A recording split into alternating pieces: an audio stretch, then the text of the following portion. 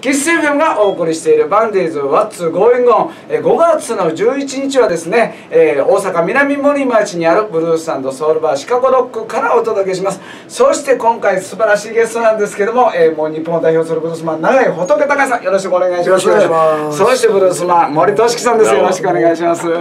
あの本編でもねお伺いしたんですけど、えーあのブルース一徹みたいに僕は今日今日初めておしゃべりさせてもらったんですけど そんなことないと。そうだからみんなにそう思われてるのはだいぶあると思うんですけど。もうもうどっちか言ったらこう頑固に守ってると思ってたんですよ。いやいやいやいや、はいまあ好きなも好きな音楽のジャンルいろいろあるけどはい一番自分に向いててはい楽にやれるはいものっていうのがブルースっていうことやったんですよはい。だってもともと俺あの中学生とか高校生ぐらいの時はビートルズとかはい。ああいうビーチボーイズとか、はい。ああいうなんかいいわゆるロックはい。が好きやったしその後まあジミー・ヘンドリックスとかね、はい。そういうの好きやって、まあ、その辺からブルースロック好きになって、はい。ブルースに入ったんですけどはい。もともとだから本当はビートルズとかやりたかったんですよ。はい。ずっと好きや好きやおっしゃってますもんね。難しいでしょ？あの簡単に聞こえてコードとかめねっちゃくちゃ難しいです。あれを演奏しながら歌うハモるはっていうのはすごく難しいじゃないですか。いはい。でブルースに出会った時に、はい。なんかすごく気持ち的にも楽やったんですよ。ああ。んまりいろいろ考えな3つでいけると。三つこのまあこの3つでいけるっていうのもあるしはい。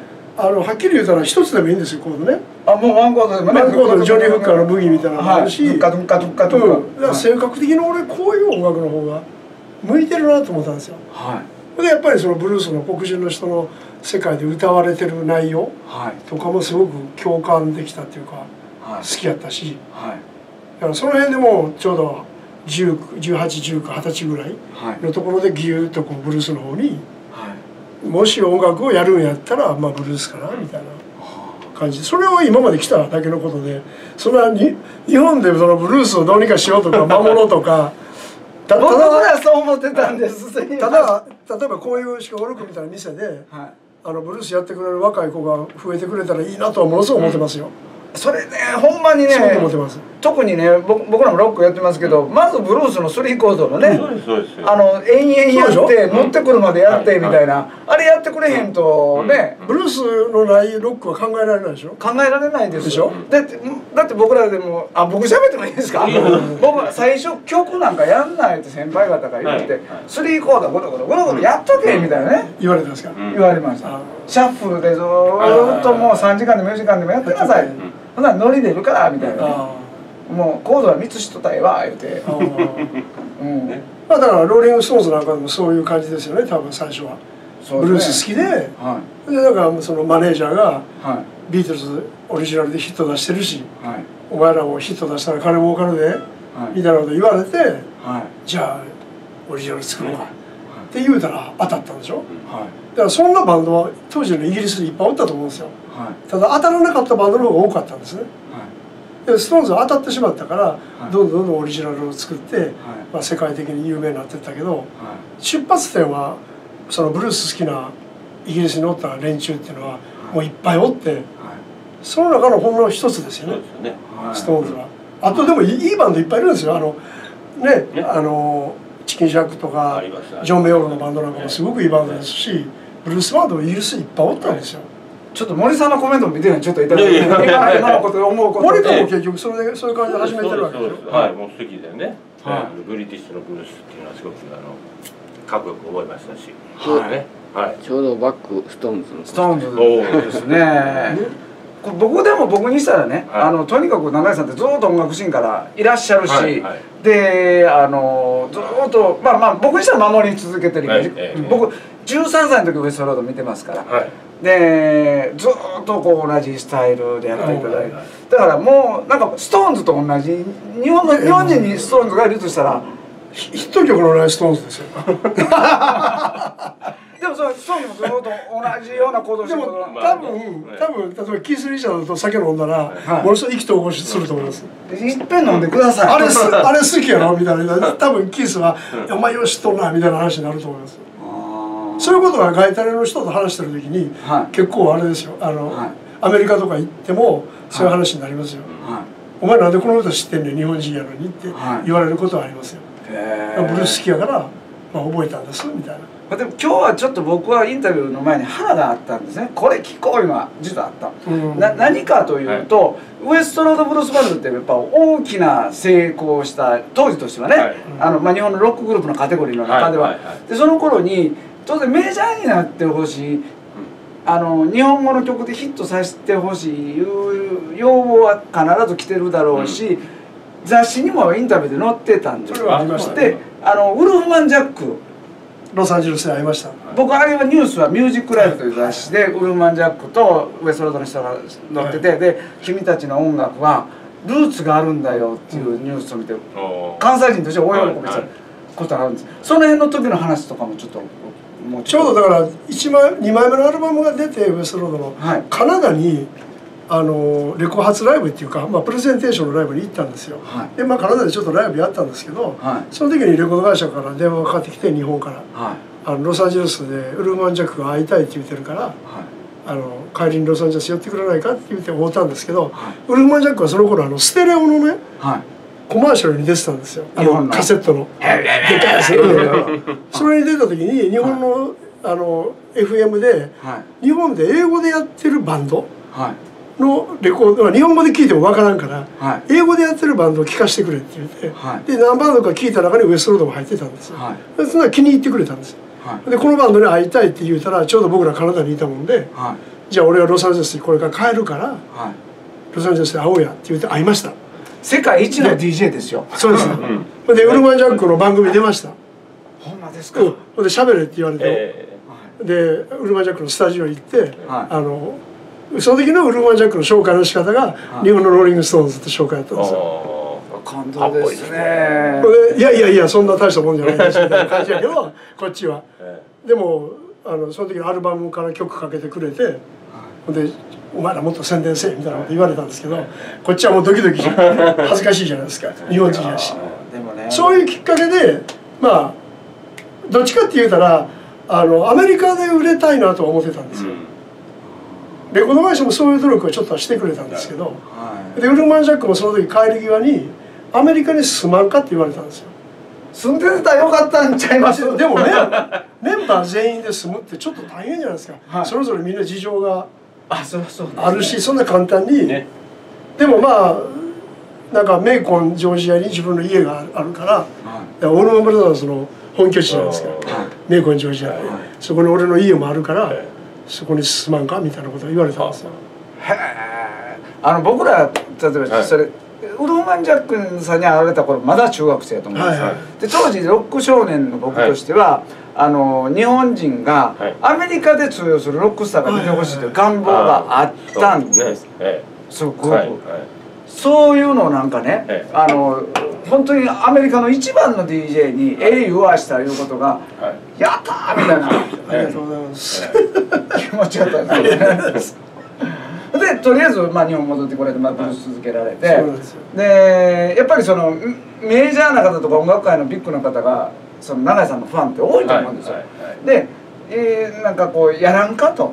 ちょっとこう。あオリジナル曲？うんそう。そうそういう話だからさっき言ったみたいにありましたよ。はい。何回か。うん。でもまあす筋が違うじゃないですか。やることが。自分が最初にやろうと思ったことと。はい。で俺はどっちかって言ったらその一番最初に1972年に b b キングのはい。前座をはい。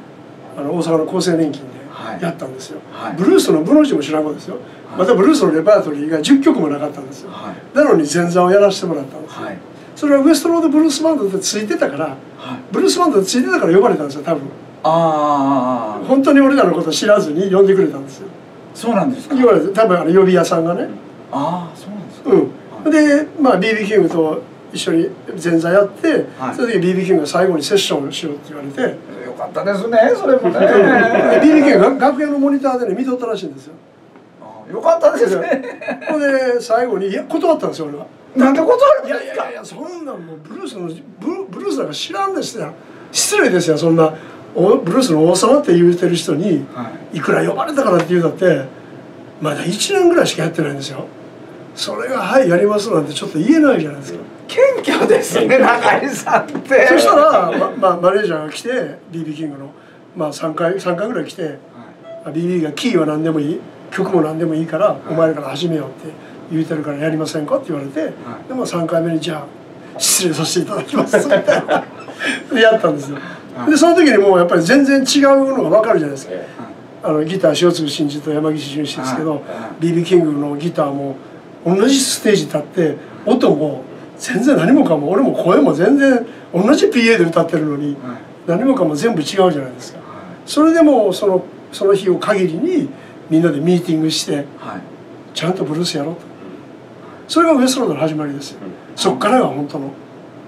ちゃんちゃんとそんなん知らないストーリーですね。えそれまではね それまではなんかブルースロックやってるようなブルースちょっとかじってるぐらいの感じやったんですよ。はでもそっからですよ。で BB キングの別れ際の言葉が「Keep on singing. Keep on singing the blues」って言われたんですよ。はい。ブルースを歌い続けなさいい。はい。それずっと残るでしょ。はい。他のこと歌えます？例えば歌謡曲みたいな曲持ってこられてはい。ふっと思い出すじゃないですか BB キングのその言葉を。はい。で日本に来るたんびに一番偉い人に言われたんですもんね。日本に来るたんびにまあ BB キングに会いに行ってはインタビューしたこともあるしあのこう楽屋内に行ったら「おお」みたいな感じになるじゃないですか。はい「おそまだ歌ってるか?は」で歌ってるかっていう意味はブルースを歌ってるかっていう意味じゃないですか。い。やすいません。歌謡曲になりましたって言えんでしょ ね。それはできんでしょ本編でもね、はい。でもあの永井さんの今日初めて僕お話した、はい。初めてです、はい。はい。舞台はもう何本とも見てますけどね、謙虚ですね。いやでもそれはやっぱり気持ちの葛藤はやっぱりあって、はい。いやねお金が欲しいとかね。そうプロのミュージシャンですからね。それはもう絶対ありますはいどうなんかもうね自分も好きな女ができたりい。ろいろあるじゃないですか。はい。結婚したり子供ができたり。で大抵その辺でこう挫折していくミュージシャンって多いじゃないですか音楽やめる家業を継ぐとか敵になるみたいな感じの人が多いじゃないですか。でもやっぱりなんとか音楽をやめずにはい。家賃を払えるっていうことをなんとか考えたわけですよ。はい。大金持ちになろうとかそんなの思わなかったですけどはい。なんとかこれで食べれんかなみたいなはい。ことはいろいろ考えましたよ。だから前ご存知ですけど俺ラジオの DJ やったりはい。してたじゃないですか、はい。ああいう仕事をやったりはい。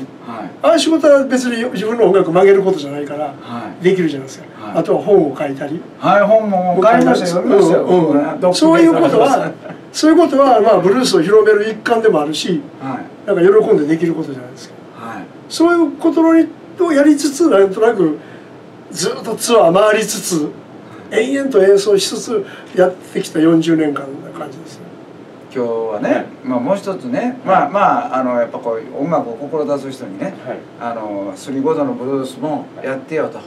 えーそういうこうなんていうの？まあ今どもうすぐパーフェクトなね、はい。ヘッドアレンジされたものを完全コピーするみたいな。なんか即興が効かへんかったりね、うん。そういうそういうことを言ってもらおうかな思ったんですけど、はい。そんなんどうですか？最近の。そうですね。難しいですね最近の音楽は。難しいですね。ややこしいのはだからややこしいのは上手なんですけど逆にシンプルなことができないみたいな、そうですそうです。そういうことをちょっとこう苦言も言ってもらおうかなと思ったんですけど。森君はあのギター教室やってあるんですよ、はい。そういうところに来るでしょ？なんかそうです。習いに来る若い人、まあ J−POP J−ROCK 教えたはい。かか割と完璧なヘッドアレンジでね。そうですそうです。今もストーンズみたいなことないですよね。ねタブ譜もありますしね。はい。こういうふうに間違いないですねはい。こっちとしては。はい。やっぱりその自由度っていうのが反対にないですねそういう曲っていうのは。そうですね。もうすこういうか終わりになるんだいうところに向かってやってますよね。ねその自分のそのなんて言いますか気持ちとか、はい。い、ろんなものをそれに投影できないって言いますかね、僕ら中学とかね、ええ。ウエストロード見て、はい。あこれ多分やってる人もどういくか分かれへんやろな思ってそうですそうそう。そうそうそう。でえええいう顔とかようしてありましたもん。ギターでポッと入ってええとかあそうか。コーラスとか決めてないですしね。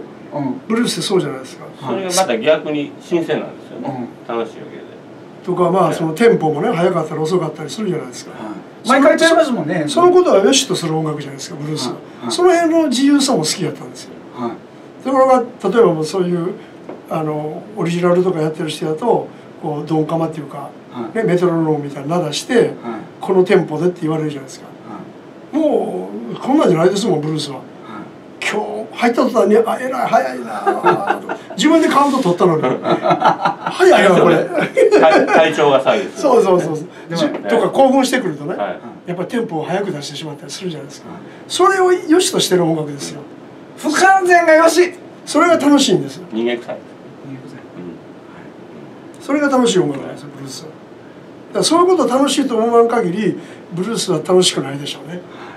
今日はあの本編のインタビューでもね、はい。特にメッセージを言ってください言うのはいつも言うんですが、ん今日はもうなしでももうええかな自由に。ねはい。や本当にね、うん、まあまあラジオもね、あの僕僕もミュージシャンからこう、売れないので、はい。こうちょっとやりへんか言われてラジオやりだしたんですけどね、ラジオは楽しいです。アドリブの世界ですかね。ラジオはね結構好きなこと言えますからはい、テレビと仕事で。はい、いつか一緒に俺も東北でまだやってるんですよラジオあそうなんですか？うん。東北一円でやってるんです。あそうなんですか、うん。それももうブルースパワーって番組やってるんですけど、はい。それももうもうこってことですよブルース。あそうですもう戦前のカントリーブルースとか、はい。この番組誰も聞いてへんのちゃうかって思うぐらいの感じです。よへえでもそれをややってくれっていう人もいるわけですよ。はあのそそのスポンサーの人でお金出してくれはる人で、い、はい。もうありがたいですねそのスポンサー。男さん自由にやってくださいみた いやもう僕らスポンサーどれがブルースなんです。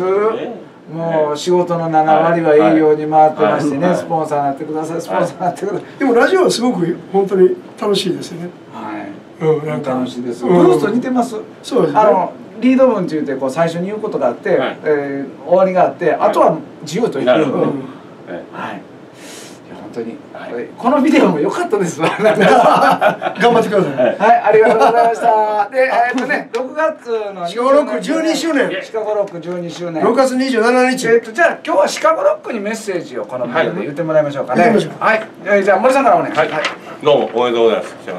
ありがとうございます。